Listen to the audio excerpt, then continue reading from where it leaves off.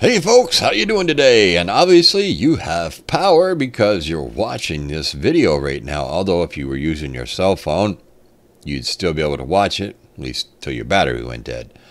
Today we're going to be talking about power outages and what you can do to be prepared for those type of scenarios when they do arise. And they're going to be arising across this country really soon.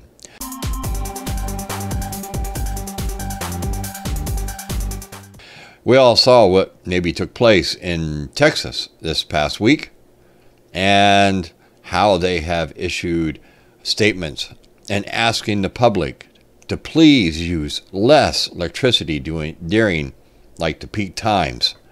You know, they want you to turn your AC up to 78.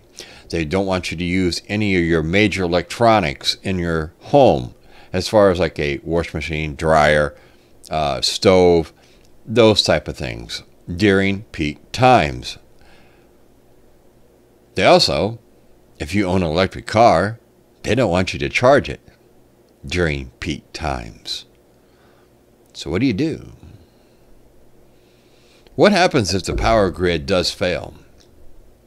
Our power grid is very, very fragile, folks.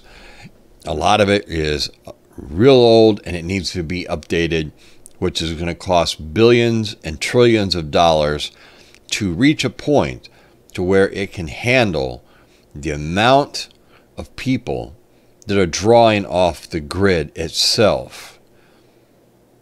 Now, you throw in people want to buy electric cars, which take a lot of power, and the grid can't handle that. And see, the people with the Green New Deal they don't want to hear that. You know, folks, if you think about it, all right, we're not set up for what they want to do with the Green New Deal and how they want to push that agenda and everything else. Changes are good if changes are done properly. Let me give you an example. Cell phones. Okay? When the cell phone first came out, not a lot of people are on board. Cell phones cost an arm and a leg. They were real expensive back then. You know, they were the big, huge things. You had the bag phones, and you had to put the antenna on top of your car or truck or whatever. Things have come a long way. You know, everybody back in those days all still had landlines.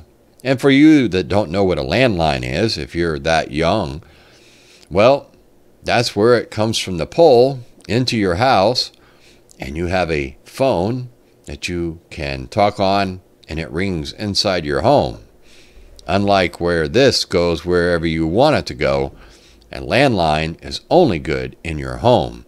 And back when I was a kid, it had a cord attached to it, so you could only walk so far away from wherever the phone was because that's just the way it was. Nothing was cordless back then. But once they took and they got these cell phones to where they were magical, they got the prices down, worked out all the bugs and everything else. Then we, well, guess what? Landlines are pretty much gone. Some people still need them for different things, but for the most part, People don't have landlines anymore, they have cell phones.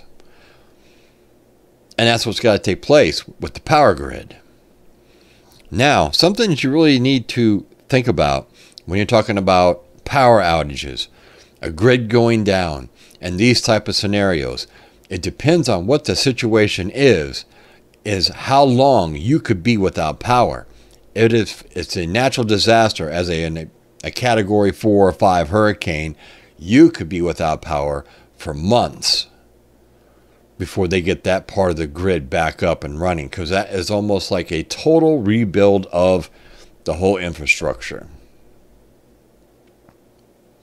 Now, if it is a short lived blackout type deal, at that point, you know, it could just be a few hours, maybe four, or six hours or something, and your power might come back on. You have to have a plan in place so that you can generate power. Now, not everybody can go out and afford to buy something like a Generac, where when the power goes out, it kicks on and it runs your whole house. So it's like nothing's wrong. But a lot of us can't afford that. Okay, they are expensive. If you can, more power to you because they are top notch. So you need to have a generator with extra gas, oil, and an extra spark plug. Just on the chance you need to change it, something goes wrong, that's what you need. All right, and that'll help get you through a bad situation. Having a battery bank big enough to run some appliances, um, you know, some bigger items in your home besides some lights, some fans, your refrigerator, maybe your freezer, whatever it could be. With battery banks, as long as you have solar panels, you can charge all those type of things and you have an unlimited amount of power. Because more than likely, as long as you have the sun outside and you put those panels in the right direction, you can charge your battery banks and this way here you always have power. Now a lot of the solar panels nowadays do have all these different adapters so you can be charging your battery bank and your cell phone and possibly a flashlight at the same time. You always want to make sure you have flashlights, extra batteries, and all that. If your flashlight takes D batteries, make sure you have extra D batteries. If your flashlight takes C's, if you have small flashlights for your kids, which I would highly suggest, just makes them feel a little bit better because they have their own little light. So you got to make sure you have batteries to cover all those different types of things. You also want to make sure that you do have some way to cook that doesn't require power as far as electricity. Coleman stove, a gas grill, a charcoal grill, a flat top, whatever it could be, and make sure that you have extra gas for those types of products in an emergency type situation. This way, here, it keeps you all safe, it keeps you all fed. So, this has just been a little video on some of the power grids and what's taking place because we're going to start seeing a lot more of this as the temperatures rise in this country. The grid can't handle it. And until we start putting money back into our own infrastructure in this country, we're going to be in a world of hurt. We're going to go through this time and time again.